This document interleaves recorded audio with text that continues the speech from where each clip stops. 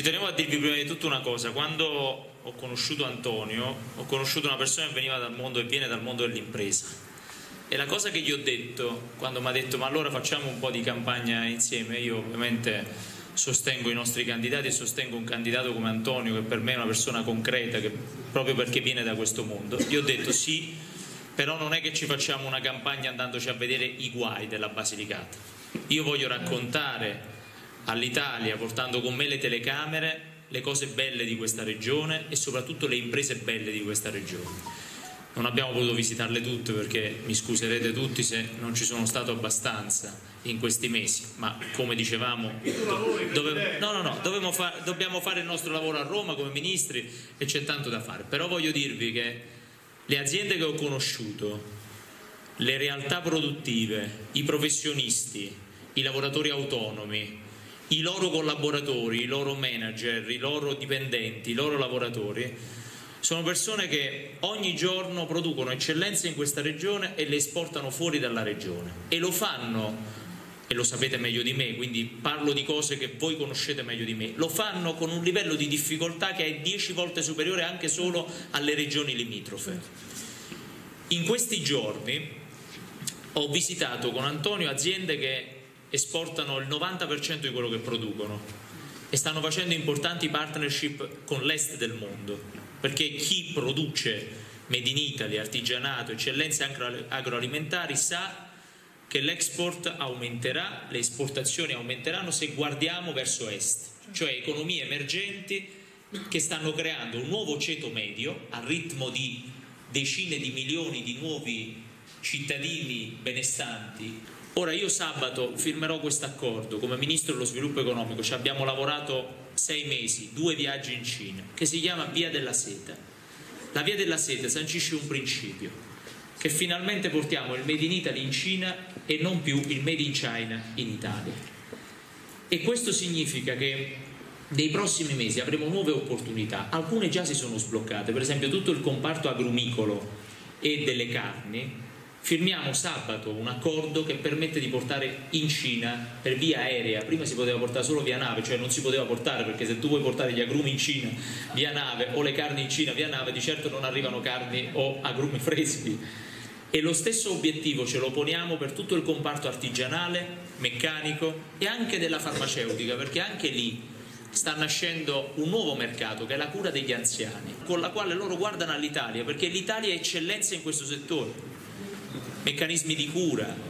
la sanità. Allora io non vi sto dicendo che con la Cina risolveremo tutti i problemi, anzi, io vi sto dicendo che non sto guardando solo a quel paese. Come ministro responsabile per il commercio estero, perché il Ministero dello Sviluppo Economico è anche il Ministero del Commercio Estero, stiamo guardando a tutte le nuove economie emergenti e questo non significa, permettetemi, di andare contro gli Stati Uniti. Noi siamo alleati degli Stati Uniti, stiamo nella Nato, io ci andrò la settimana prossima negli Stati Uniti, a parlare con i nostri alleati, ma l'Italia come è alleata di un paese come gli Stati Uniti che ha detto America first, deve avere il coraggio di dire Italia first e italiani first nei lavori di impresa e negli obiettivi che ci diamo sulle nostre imprese. Non è solo con le esportazioni che possiamo rimettere in piedi le nostre aziende del sud, aziende che se in Italia essere imprenditori è essere eroi, al sud è supereroi, in Basilicata è veramente eh, Capitan America. Ogni volta che si è provato a semplificare qualcosa in Italia si complicavano le cose. Allora ci siamo dati un metodo che verrà rispettato in questo decre primo decreto, chiamiamolo sblocca cantieri, ma che riguarda anche le attività private.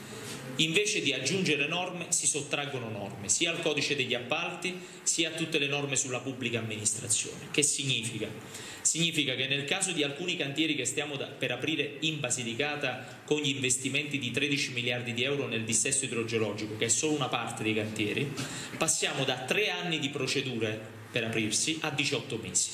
E questo ce lo certificherà il Ministero dei Trasporti. Qualcuno dirà ma così state attentando alle norme anticorruzione. Io condivido pienamente quello che sta dicendo l'autorità nazionale anticorruzione Infatti non toccheremo quelle norme che, se, che girano sui giornali, però dobbiamo dirci una cosa. Noi una legge anticorruzione a dicembre che dà più poteri alle forze dell'ordine l'abbiamo, fatta. Abbiamo messo in mano alla Guardia di Finanza la possibilità addirittura di controllare le transazioni sui conti correnti. Io so che questa regione ha vissuto tanti scandali e tanti problemi, però quelli ormai possono far parte del passato, deciderete voi che cosa deve succedere domenica.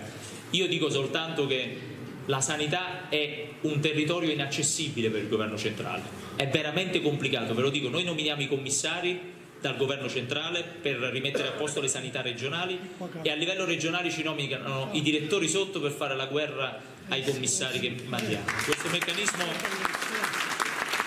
già è stato in qualche modo sperimentato in Calabria, è stato sperimentato in Molise, quello in Molise si è dovuto comprare addirittura una stufa, neanche riscaldamenti gli hanno fatto trovare quando è arrivato lì nel suo ufficio, ma è una cosa che non attiene alle competenze costituzionali, eh, perché noi non è che vogliamo commissariare le regioni, vogliamo semplicemente far andare un po' meglio la sanità, attiene al fatto che il 90% di un bilancio regionale è sanità. E quindi lo sapete meglio di me, al di là delle questioni politiche, è un bancomat. E questo bancomat non è che se lo mettiamo in mano ad un'altra forza politica per il sol fatto che ci sono Luigi Di Maio e Mattia cambiano le cose, no, devono cambiare le procedure interne, soprattutto di selezione dei dirigenti, che se dipenderanno sempre dalle nomine politiche regionali non ne usciremo. Noi sono, sono sei mesi sono sei mesi che proviamo a spingere come governo centrale per fare un accordo Stato-Regioni sulle nomine dei dirigenti e dei primari, in modo tale che possano essere concorsuali, non perché i concorsi sono la panacea di tutti i mali, ma sicuramente sganciamo un po' di più la probabilità che chi sta a capo di quella ASL sia legata all'assessore alla sanità o al presidente di regione. Ma è complicato, è complicato perché la sanità è una competenza esclusivamente regionale. Io sono qui con Antonio, sto spingendo